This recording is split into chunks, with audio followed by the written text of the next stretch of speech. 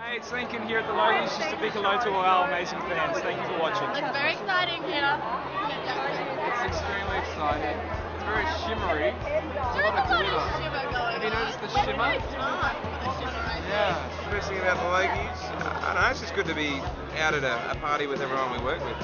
So there are so many characters on our show. Often you don't see people at work, even though you're all on the screen together. So good to be able to kick back. It's always good fun catching up with people you haven't seen for a long time and uh, all of that. So it's good. Yeah.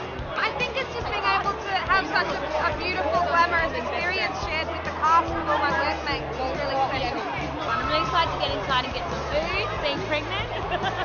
you know, priorities. But no, it'll be a really lovely night. I'm looking forward to having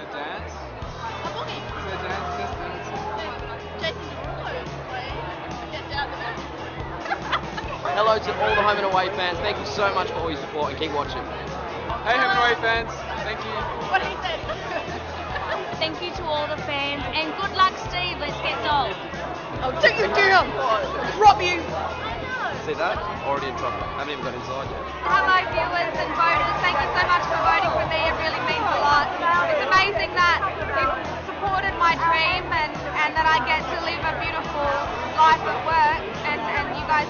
the rewards as well. Thank you very much. G'day, uh, this is Stuart the Logies, and I wanted to thank you all, uh, our home and away fans, for taking the time to vote for me. Um, it's, it's a really nice feeling to know that you love our show and uh, that you're getting behind me and, and Dan and Johnny and Bonnie. It means a lot to us. Thanks.